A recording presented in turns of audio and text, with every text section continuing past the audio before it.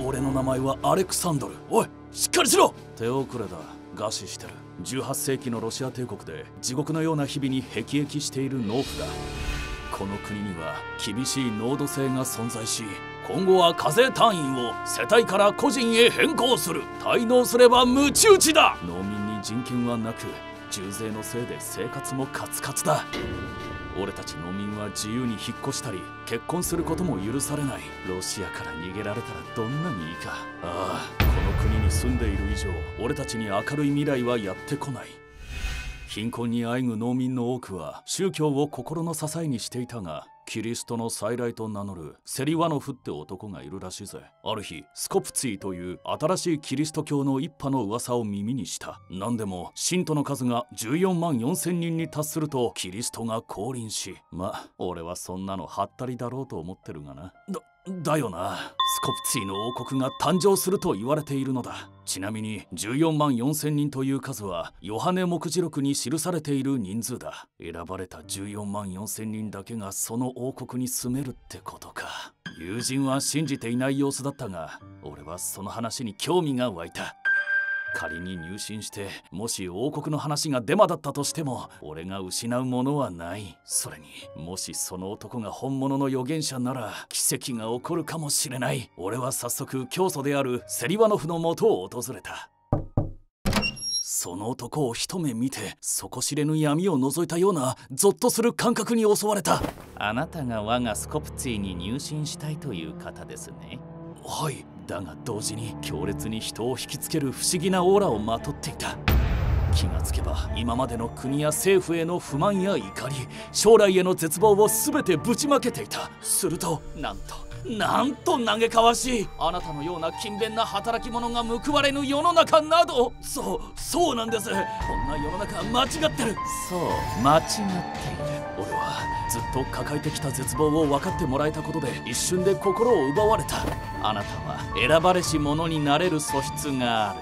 本当ですか？そしてこのゴミ同然の人生を変えるにはここに入信するしかないとそう信じて疑わなかったしかしこの時の俺は重大な事実をまだ知らなかった。あのこれってああ一人前になるための儀式ですよ。真の信者になるには火のパプテスマという儀式を受ける必要があるというのだ。その儀式ではなんと局部を刃物で切断し虚勢をすることで聖書に記された純潔な独身者になるのです。な今なんて？二度の儀式を通して段階的に虚勢をする決まりらしい。男の信者の場合第一の儀式で玉を切除し第二の儀式で息子本体を切除する。女の場合は乳首を切断し2度目の儀式で乳房全体を切除します。そんな！性欲肉欲はこの世にはびこる諸悪の根源。だから私は全人類を虚勢することでこの世を争いや犯罪のない世界に作り変えるのです。これがスコプツィの根幹をなす競技であり目的だったのだ。しかもその虚勢のやり方は超原始的で麻酔なしで大事な部分が切除され新たな純血者が誕生した。おめでとう。切り取った物は火の中に投げ入れられるのだ。教祖のセリワノフももちろん虚勢済みらしく次はあなたの番。全ての苦しみから解放され選ばれし者となるのです。違うんです。俺そんなことを知らなくて。すでに800人もの信者たちの正規を切除したという儀式を見た瞬間俺はようやく気がついた。これはキリスト教なんかじゃないただのカルト宗教だ。こんなにもヤバい連中の集まりに俺はずっと参加していたのだ。もちろんすぐに脱会を申し出たのだが恐れるな試練を乗り越えれば心に平安が訪れる。いや結構です。教祖直々に俺を説得にかかりなかなか返してもらえない。身の危険を感じた俺はすぐにその場から逃げ出した。裏切り者は地獄に落ちる。彼を捕らえて儀式を受けさせるのだ。はい。にもかかわらず信者たちがどこまでも俺を追いかけてくる。自宅に帰れず逃げ場を失った俺は友人の家へ駆け込み。た助けてくれ。どうした？間一髪のところで難を逃れることができた。しかしなあ。俺はもう虚勢したんだ嘘だろ。お前いつの間になんと友人も熱心な信者になっていたのだ。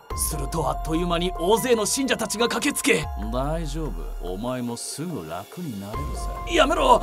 助けてくれ。俺はまるで生贄のように担ぎ上げられ連れ戻されてしまった。奴らは泣き叫ぶ俺を羽交い締めにして縛り付け。さあ準備はいいかね？よくない。頼む。やめてくれ。刃物を持った教祖が俺の股間に手を伸ばした。そして次の瞬間それ。股間に雷が落ちたかのような激痛を感じ俺は一瞬で気を失った。こんなことが現実に起こるなんて絶対にありえない。夢だったのか。気がつきましたか？もう大丈夫ですよ。そう俺は悪夢を見ていただけに違いない。